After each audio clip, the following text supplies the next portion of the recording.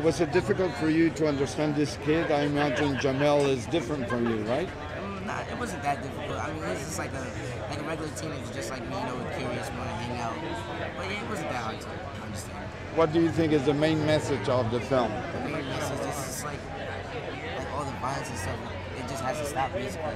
So somebody has to do something about it. And they try to do something. In Ice Cube, uh, really cool. He plays your Yeah. dad. Tell me a little about your experience. It's crazy because like he's he's in my my favorite movie Friday, Friday after next and next Friday. So it's just like working with him was really good.